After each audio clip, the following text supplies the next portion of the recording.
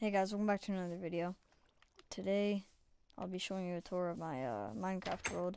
So, this is my house. This is like the open area of it. And this is the porch. There's torches everywhere so no mobs spawn. Down here is my little main area. Because it has all my chests, all my crafting stuff. And you come up here.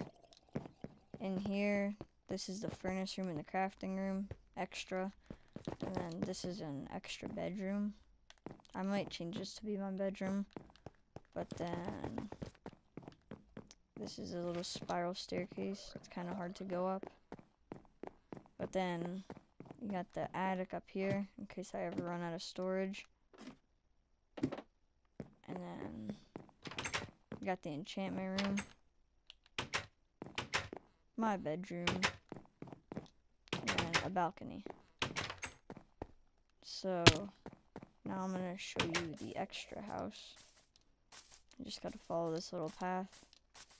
I don't know what that cobblestone is, but this is the extra house for anybody that wants to live in it. I'm not done building it. The roof isn't done. But then it has the same little contraption, basement, storage. Yeah. And then you come over here. You got our little our little lava source and right here you got the library. This is like, say you don't have an enchanting table, you come here to enchant stuff. And then this is a farm, of course. That's a mob spawner. And then that's a mob spawner. This is my little cow farm. These netherrack stairs, it leads up to a portal.